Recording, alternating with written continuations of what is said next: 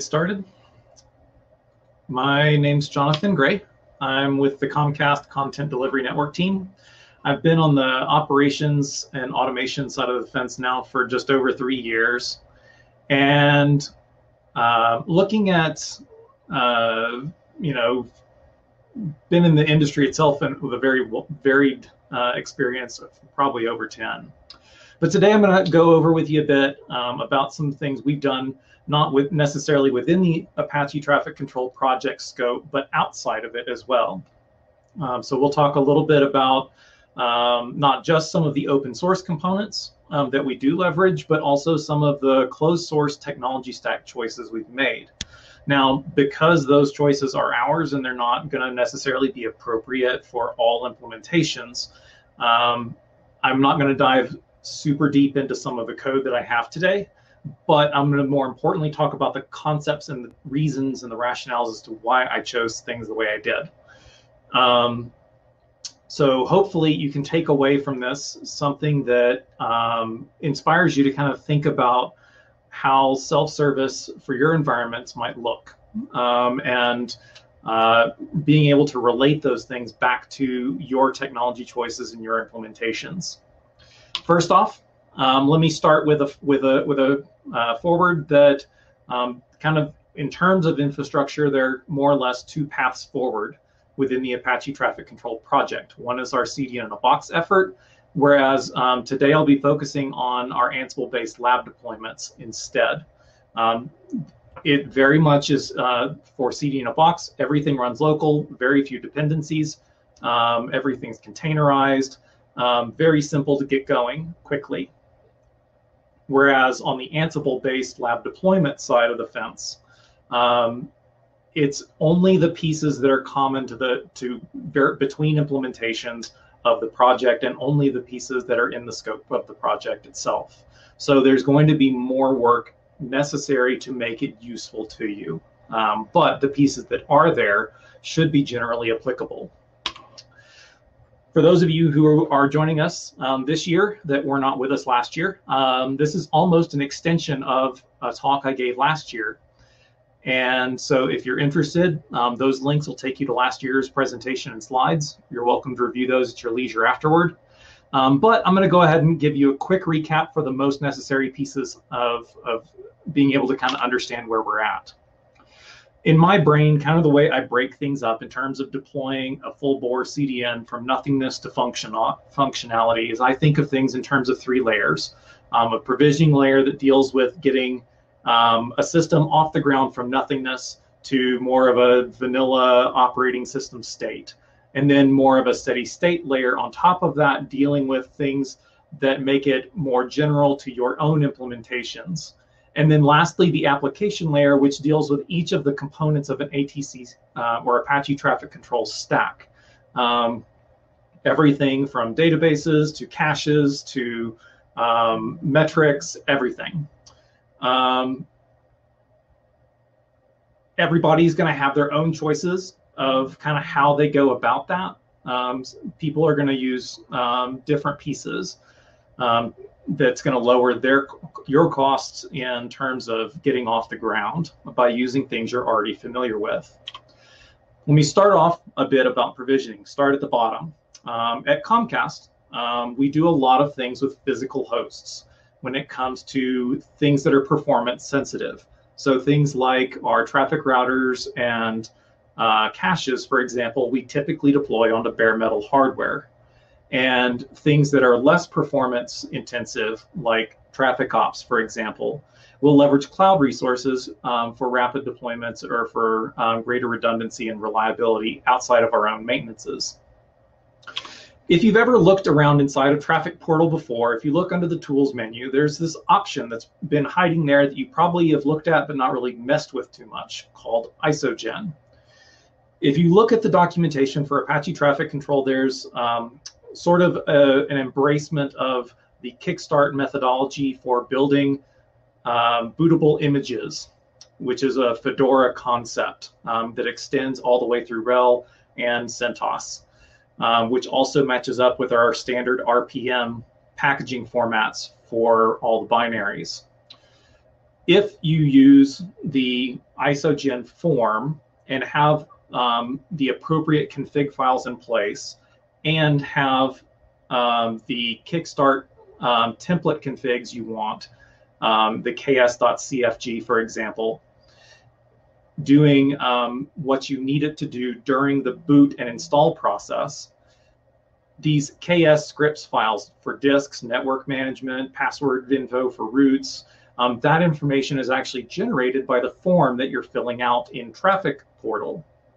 And then that ISO is basically built on the fly and streamed back to you with all the network identity information for a particular host baked in.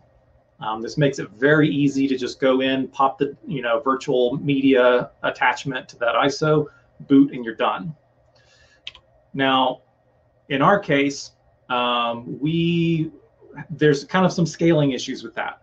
Um, when you're doing you know 10, 20, 100 hosts at a time, having to make individual ISOs for each system is both time consuming and error prone. It's very easy to accidentally um, attach the wrong ISO to the wrong uh, host, and then you end up with IP information out of whack.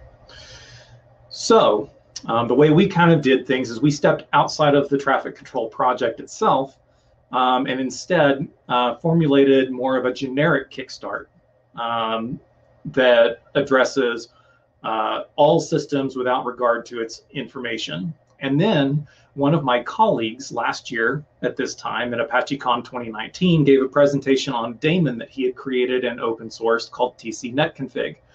Um, you heard in the last talk with Sergey um, a little bit of alludement to this. So um, effectively what the daemon does is that um, it just phones home to traffic ops and says, who am I? Tell me what my IP info should be. Tell me what my host name should be, and I'll go and apply that for you. Um, so that way we have one ISO that scales much greater than uh, where we were before. Now, the other downside to this is that it um, does rely on IPv6 autoconf router advertisements, um, which is not um, typically turned on by default in a lot of cases, but um, is supported. It's not the same thing as DHCP, but in the in the scope of how IPv6 works, it's very similar.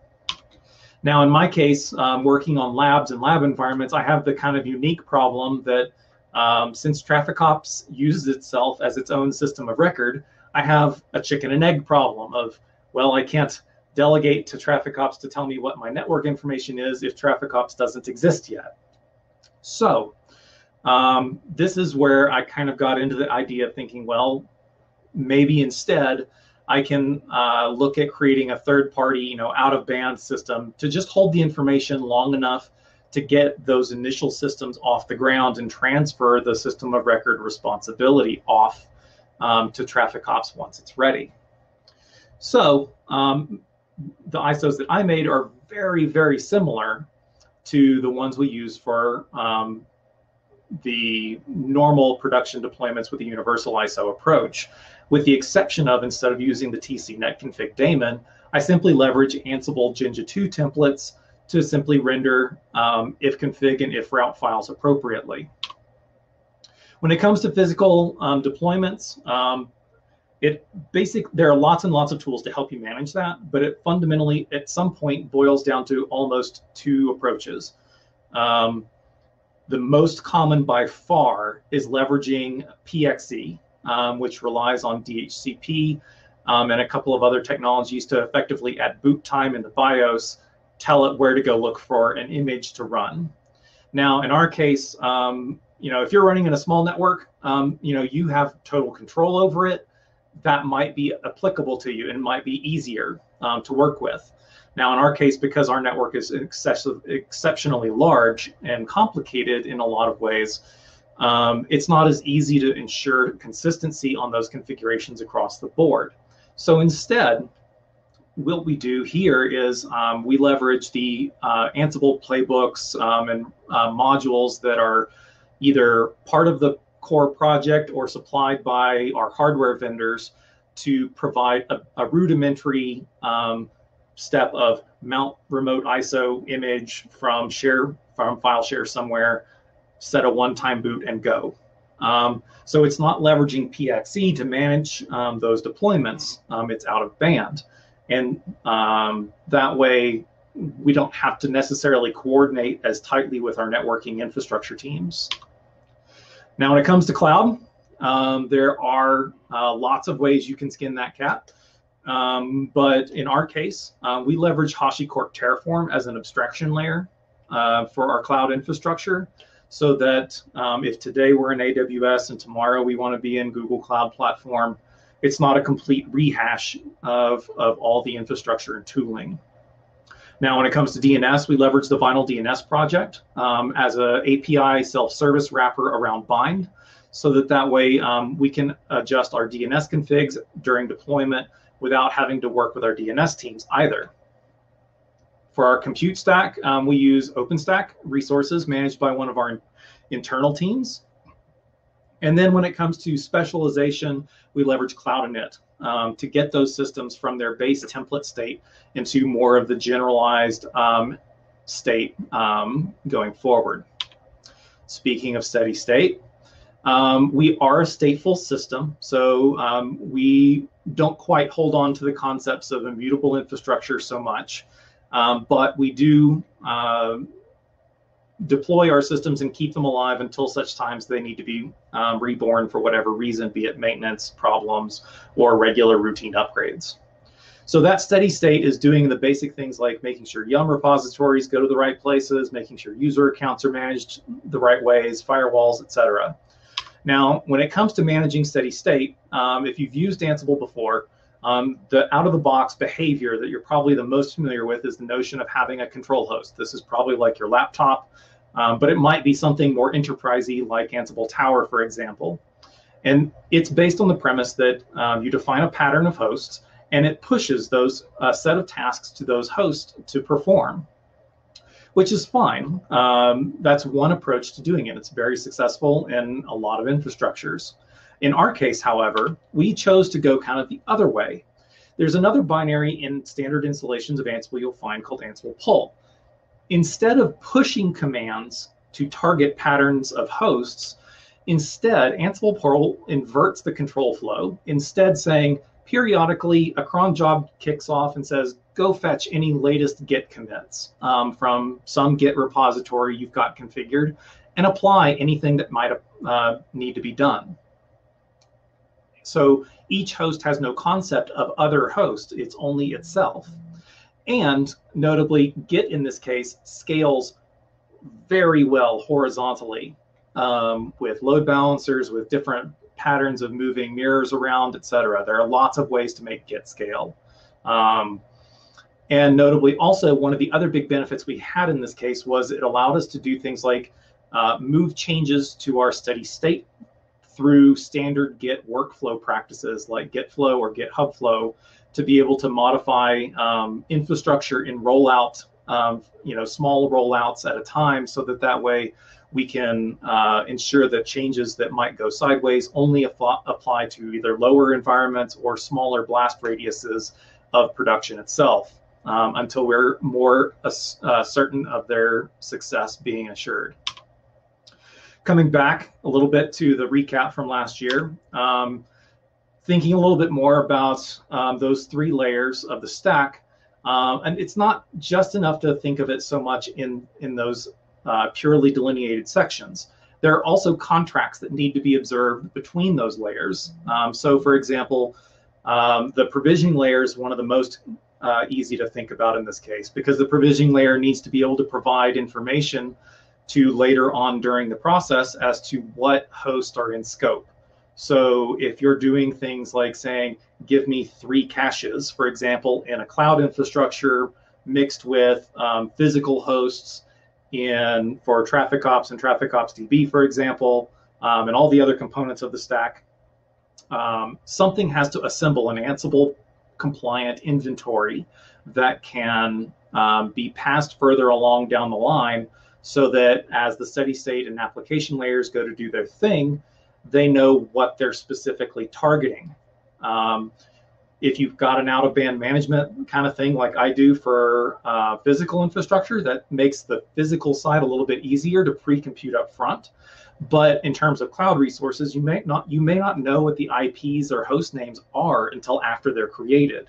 So there's a feedback loop and a contract that has to exist there. Um, and it also might serve as some form of sentinel value to say, hey, the steady state layer is done, it's ready to move on let's go specialize some applications um, and get those running. When it comes to each one of those application component layer um, pieces, uh, the way I think about it is um, they all follow more or less a standard template of go load some variable data that's important um, for this deployment um, and specifically this environment, then wrap uh, a implementation specific driver playbook around a generic core Ansible role. That implementation specific driver could be things that are you know important to you in your implementations, like you know your monitoring systems or um, your metrics or um, being able to tie in other system of record, et cetera, in your workflows. Um, the generic core, on the other hand, is the open source um, role that is in the traffic control repository today in the infrastructure um, repository, uh, in the infrastructure folder of the traffic control repository. Now, how do you get those roles into something that's usable, you know, when at runtime?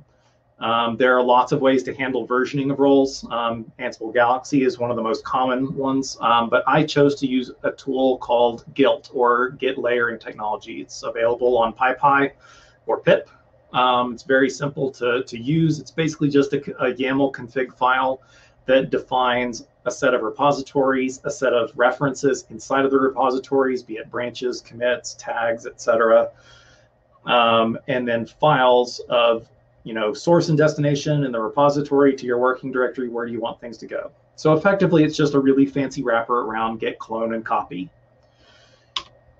Kind of the last important concept to think about um, from, from before is the notion of variable precedence. Um, in Ansible, when you're interpolating variables, there's lots of places that can come from.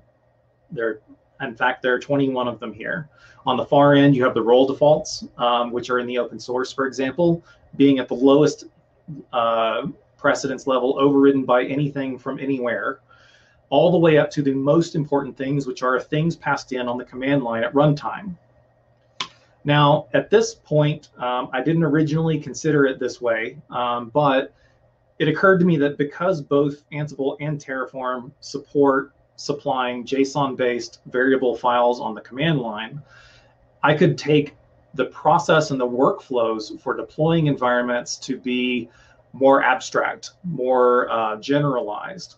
And so this is when I got kind of the light bulb moment of, you know what, maybe I can be a little bit more ambitious here and think about things in terms of self-service as opposed to um, having to custom roll every one of these things each time, even if it's only the small pieces um, for the things around the generic cores that are different or nuanced. Um, but it allows me to be able to take all the pieces that make each individual environment special and instead um, bring them into that external system of record, which in my case, I call the lab manager. Um, the lab manager is a you know internal application for us because again it wouldn't make a whole lot of sense to, to really kind of dig into the details of it so much but the important things here were that it resolved the chicken and egg problem with traffic ops. It was a reliable system of record with, which focused on data relationships, integrity, and more importantly, was simple.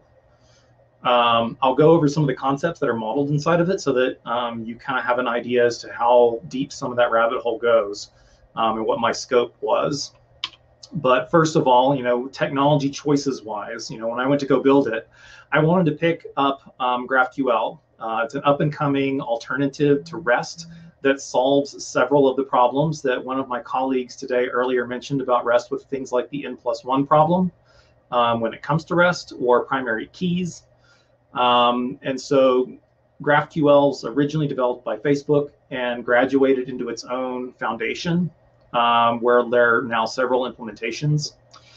On the other end, um, I wanted a relational database on the back end um, and the 800 pound gorilla in the room at that point is Postgres. And more importantly, uh, the traffic control project already leverages Postgres as it is. So the skill sets and tools needed to work with it, understand it, manipulate it, develop it were already there and present on our team, myself included. Now, to kind of stitch together both ends of that spectrum, um, from protocol to backend, I leveraged an open source um, library called PostGraphile. Um, it's been around for a little while now. It's open source. Um, you can use it as a library or a standalone, but it's a more importantly, effectively a no-code to low-code solution um, when it comes to getting functional APIs off the ground for basically nothing. Um, I went ahead and made it into a library so that I could add a few other libraries to it to make it uh, handle a couple of use cases I had that were different and to make it just a bit more user friendly getting off the ground. A little bit more details about how that particular library works um, and how it ties into the bigger picture of what I was trying to accomplish. Um, the most important thing here was security, um, being able to make sure that the API was secure from the get-go um, to make sure that the data was protected and that it was, more importantly, not a hassle to have to deal with. So uh, I leverage an OAuth 2 provider to get a valid JWT back, which um, is then in turn validated and passed along through PostGraphile all the way down into Postgres itself. And once it's in Postgres itself, you can leverage the native Postgres permission schemes that are available inside the database as is. So you can do things like row, uh, row column or table permissions. And um, because the JWT data is exposed inside of the database as variable um, in the context of the query, you can also do check constraints to ensure things like um, applying ownership or change tracking to user IDs. Notably, this also allows me to leverage things like the concept of a role in, inside the JWT or claims or uh, permissions or capabilities, um, otherwise conceptually, to be able to control what people see, can, and do um, with said API. So, um, as a side benefit there, because I don't have to, um, the, the username, for example, is simply a piece of ancillary data. So I don't actually need to, in Postgres, define individual users as a concept. I can only, I, I can, for example, use the role in the Postgres sense being a collection of users with a set of permissions instead. Business logic wise, out of the box, you get CRUD. Um, create, read, update, destroy. You get specific functions for every table out of the box um, that you have. And that includes if you do all the proper data modeling and documentation inside the database, it's propagated upward into the GraphQL schema as well. Now, this is an example of a mutation doing a creative on a division object, which is one of the most basic concepts in the traffic control data model, which is simply just a string, which has a one-to-many relationship, or actually really zero-to-many relationship with regions, which is again just another string. Now, in this case, this is one operation to simply ensure that the division record exists.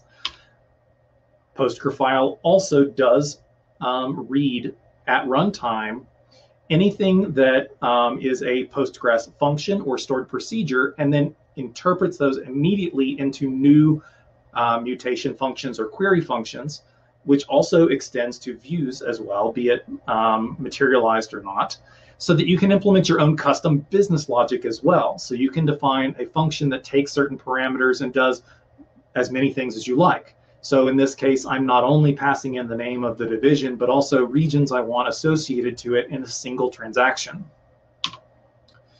If you're interested in learning a little bit more about that, um, there's actually an experimental setup um, already committed to the traffic control repository in our experimental stuff that's enough to kind of get you a basic environment up and off the ground. Uh, moving on to kind of the data concepts of the data uh, of the lab manager, uh, the environment is probably the most fundamental and key piece of information, right? Um, there's basic metadata um, that you want to hold on to, but if you've ever really tried to build an Apache Traffic Control CDN before, you already know there's 10 gajillion knobs in the system that can be tuned all manner of ways. Um, so one of the things that I did here was um, instead of trying to create a hard schema of here is the totality of all options present in the system, I instead simply leverage a JSON column of the database, which is then presented all the way through as raw unstructured JSON in GraphQL to be able to model um, all the various and sundry configuration items um, without having to necessarily enumerate them. Because simply if I tried to enumerate them, it'd be out of date by the time I got finished. Um, there's a little bit of a loose schema that I did apply, and I'll come back to why I did that um, closer to the end. Um, but effectively, um, it's unstructured, but there is uh, a loose structure at the very root of the dictionary. The GILT config um, also is a, considered a field of the environment itself. Um, you saw earlier that it's a YAML file. Well, Postgres doesn't have YAML as a concept built in, but it does JSON again. So um, Ansible has a very easy, easy, easy conversion process of JSON down to YAML. So um, effectively, I just jam that uh, GILT config into the definition of the environment as JSON, which then gets rendered at runtime down to the YAML file that's being expected. This allows each environment to be able to find um, different points from whence its code comes. So if, for example, I want to grab um, the latest and greatest versions of the code available. I can grab it off the head of master. Um, if I'm doing some scary development work on one particular area, I can grab one of the generic cores or a piece of my um, code from somewhere else in a totally different repository, be it internal or external, um, and weave that in at runtime. The next concept, which is probably the most variadic, is the notion of a resource pool, whether it's physical or virtual. In the case of virtual, it's probably looks a little bit like an asset management system sort of thing, but not really. Um, and then on the cloud side of things, you're basically doing a, a quota around your tracking of your quotas and the, whatever your cloud resources are. Um, when it comes to physical infrastructure, you do have to provide some other um, ancillary data when it comes to actually associating those physical assets with the CDN namely which environment do you want to tag those resources to? What thing is it going to be at the end of the day? Whether it's a cache or whether it's a database whether it's an api server etc and then uh, what cdn does it belong to? Since a given uh, apache traffic control instance can have multiple cdns rep, uh, represented um, if you're building a cache you need to be able to specify to which cdn that belongs. Next concept here is a job. So uh, I didn't want the lab manager to just be a you know read write CRUD database. I want it to be more of a life cycle tool for an environment. So um, the notion of a job was effectively something I want a backend process to do for me. So doing things like saying, um, let me file a job query that does things like, um, you know, build an environment from scratch or destroy it back to nothing and release the resources or expand it or upgrade it. Those operations are nebulous and can be defined esoterically as you just as you see fit. But the notion of a job to being able to define the lifecycle events um, of an environment. The next big one here was logs. Um, there are many, many ways to slice and dice that uh, into different ways. Um, a little bit of implementation detail here. Uh, when it comes to actually running the playbooks themselves, I leverage the JUnit um, output callback plugin to be able to export all the log data as a flat file in XML format, conformant to the JUnit format, which is then picked up and um, processed um, actually within Postgres itself because Postgres supports native operations on XML as well as JSON. So um, that way I can break apart and re, uh, reconfigure the data as I see fit to en uh, enrich it to be more useful. Next, um, I went ahead and threw in the concept of a fact inventory. Um, if you're used to the concept of Puppet DB or um, Ansible Tower, I believe has a very similar concept of just being able to say, I know all the facts about all the things um, inside of my domain. So Ansible generates fact data on every run um, by default, unless you tell it not to, that includes um, a lot of information about the system. And notably, because the variable, the data is going to vary from implementation to implementation. Um, it's not, I couldn't structure it per se. This is again where using a native unstructured JSON column mixed with um, a Postgres view to be able to use native JSON operators to then expose common pieces um, through the API of GraphQL. Now let me move on to the next big piece here, um, the other half of the system, which is the lab executor. We talked about the lab manager that basically is just the system of record.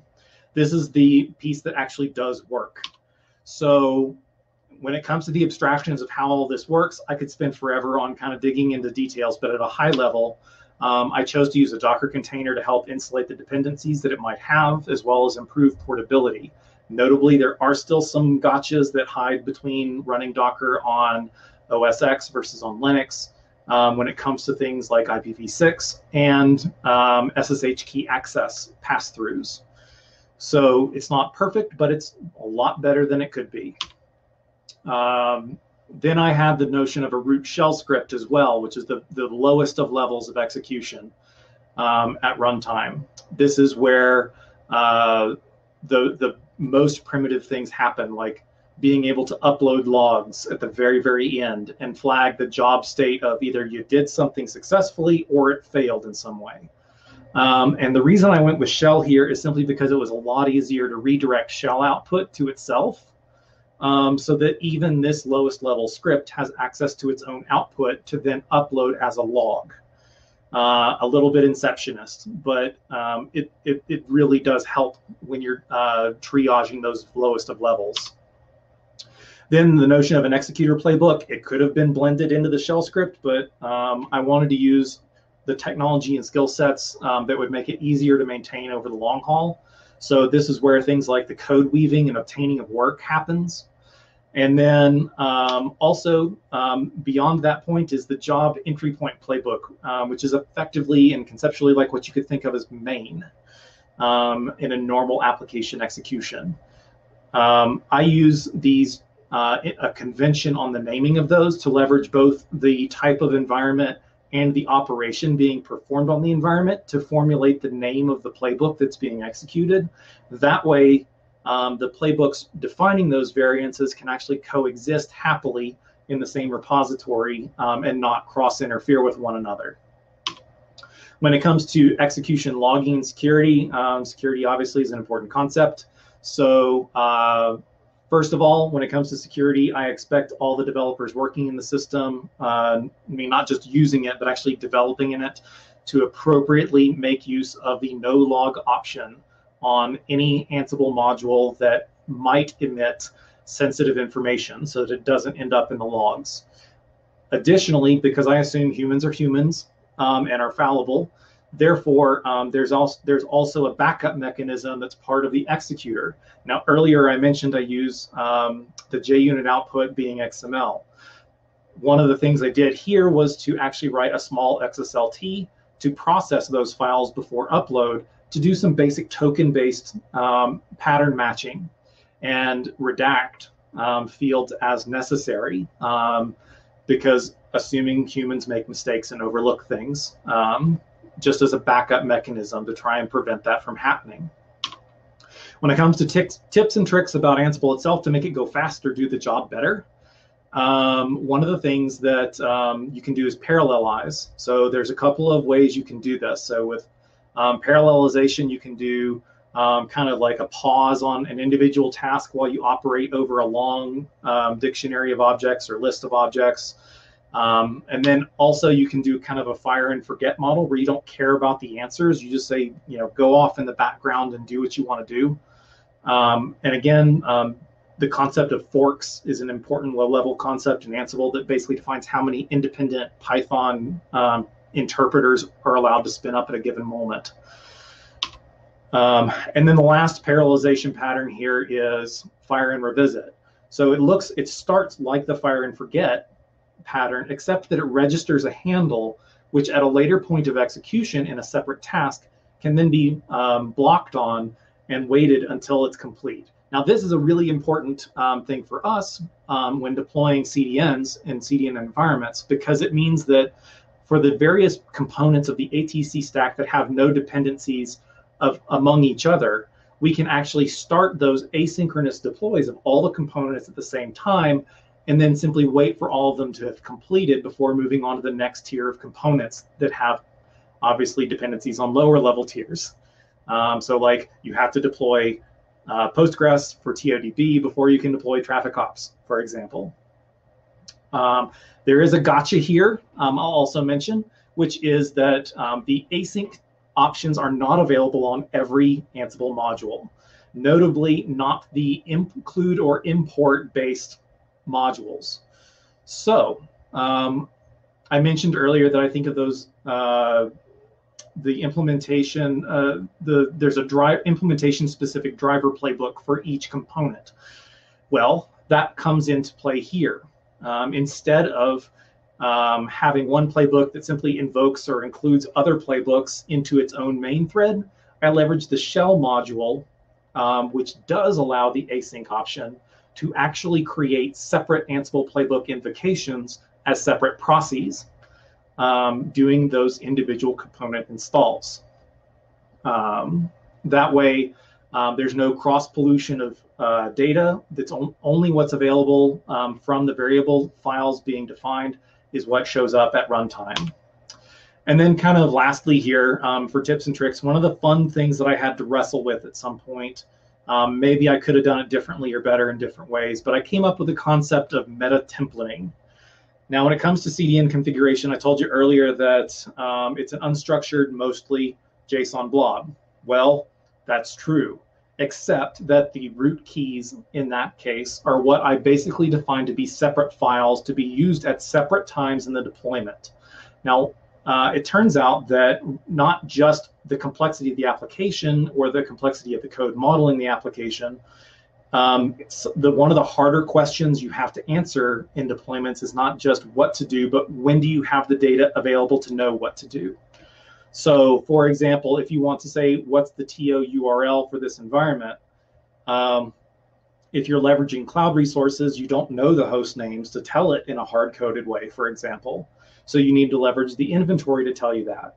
But the inventory, when it starts, doesn't actually have that information because it hasn't been provisioned yet.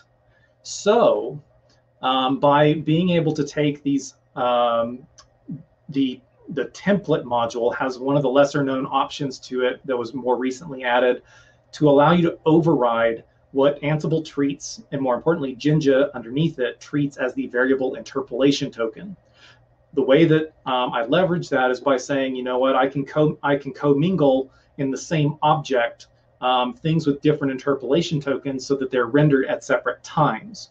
So I can render things in this case um, for the provisioning layer up front, make it available up front, but maybe I have other pieces of data that are only available later in the process. So again, in the same config object, I can still model it, but I use the template module to simply render the J2 template which is itself as a J2 template rather, which then generates a Ansible variable file to then be included further down the road. Um, it's a modestly complicated system to wrap your head around, but um, it actually works pretty well. Now, when it comes to future work, um, things that are coming down the pipe, um, the main bulk of the work is already in the main line of the Apache Traffic Control repository. You can use it today with Guilt um, if you so choose. Um, but also, um, I do have my own fork where I've been doing a bunch of refactor work and also more um, of my day to day kind of thing so far. So there are more improvements coming. Um, again, because of Guilt, you can leverage it today if you really want to, but I make no promises that it's perfectly stable yet. Um, so, kind of takeaways here, you know, um, I'm hoping you got a better feel for how the open source and closed source pieces um, in your implementations might work together, how um, your technology stack can make a difference in how you implement your solutions, how complex the end-to-end picture actually is, and more importantly, how you, how you might go about tackling um, getting yourselves into these better positions. Now, my contact info is here. I know I don't have a ton of time. We'll go until the session kicks us off. Um, but uh, you're welcome to reach me out on the traffic control CDN uh, Slack instance. Um, I'm pretty easy to find with the ATC Robots channel. Um, so, uh, Dave, how much question? How many questions we have here? Yeah, thanks, Jonathan. Um, looks like we just have one. Uh, concept of a job is great. Provides state tracking for longer running tasks. Now, when a job fails, can it be restarted so it continues from where it failed? That's a good question. Um, my solution doesn't um, because the, uh, there's a lot of state questions that come into play there. Um, because because of the asynchronous nature of deployments, it gets kind of funny when um, you have one thing fail and you don't necessarily know what happened to the rest of them. Um, and also, recovery is one of the most complicated pieces you could probably come up with. So I kind of uh, skirted that and simply um, for things that I know are problematic, I leverage the retry option uh, built into Ansible on particular tasks that are error prone. Um, but if for some reason there's a legitimate failure of some kind, um, like not having enough quota or a typo in the code somewhere, um, and it fails, um, I can review the log data to know where it failed um, and uh, hopefully have an idea as to how to remediate it going forward. Um, so to answer your question, no, I don't really track the state per se within the execution for resumption. Instead, I track the state in the sense of binary yes or no um, to an end user. Was it good or was it not good? Um, and then if it's not good, figure out why, and then simply hit it with a big hammer and redeploy it from scratch all over again um, because it's a whole lot easier to use a big hammer in those sense than to try to triage all the ways that it might have gone sideways. Cool, thanks. Um, uh, got it. Can the current set of Ansible automation be used to bring up a CDN from scratch? So the, the that was where I started. Um, the CDN in a box effort can, but it's going to be limited to local resources. The Ansible-based approach um, is not an out-of-the-box solution. Um, you do have to uh, implement your own pieces around it. Because again the scope of the atc project effectively limits the uh, scope of the generic cores to being around the application layers. I mean just because i use openstack doesn't mean you do. So it wouldn't exactly be appropriate for me to say you know what? Hey you got to use openstack for this to work. Um, and obviously when it gets into infrastructure details there are all manner of different problems that will span from implementation to implementation. Um, so it, you know, conventionally, you know, people are around to kind of maybe give you some tips, but there's not going to be an out of the box, hey, just go rip this out and uh, you're off and running in a day um, in production. You do have to kind of do some legwork to make it fit in your infrastructure. Yep, and if you're interested in that, like Jonathan already said, the uh, the channel on the Slack is a good place to discuss. Yep. Cool. Um, all right. Well, thanks again, Jonathan. It's really good. Um, and thanks to everyone um, for for everything all day long. Um, but I think we are done. Great. Thanks, everybody. Have a good rest of your day. Thanks. Have a fun ApacheCon. yeah, you too. See ya.